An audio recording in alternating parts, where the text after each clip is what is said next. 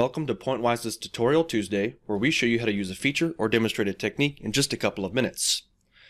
I've worked on several structured meshing projects recently and wanted to run through a few scripts on our GitHub page, uh, which can be located at github.com forward slash pointwise. And these scripts are designed to rapidly create structured grids on three often used topologies. So let's move to Pointwise. And before I get started, there's two points I want to make, uh, just two quick points here.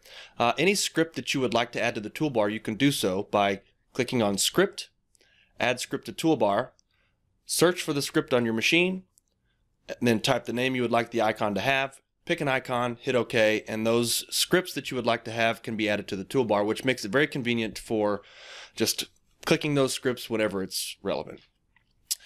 Um, and then a second point, uh, these scripts that create these structured meshes will elliptically smooth the domains, which will allow the user to obtain the highest quality elements in those domains.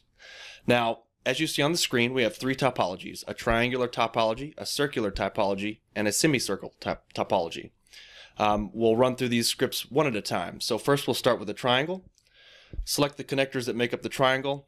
Here's my triangular uh, icon script.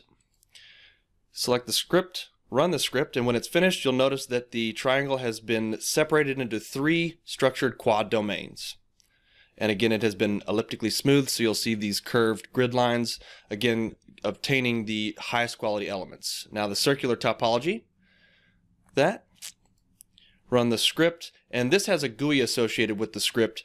Um, the radial dimension essentially is the uh, H topology, uh, the number of uh, grid points along the H topology domains, and then the radial extent essentially is the percentage of the, the radius starting from the center point.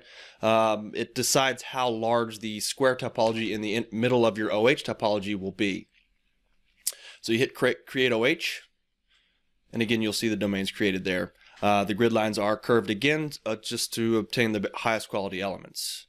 Moving on to the semicircle topology, select that, hit the icon, and now you've got a semicircle OH topology. And the links to the scripts will be located in the description for the video. And if you like this video, be sure to click the thumbs up button and subscribe to our channel for more videos like this. If you have any questions or suggestions for future videos, drop us a line below or connect with us via Twitter, which is linked in the description. Thank you all and have a pleasant Tuesday.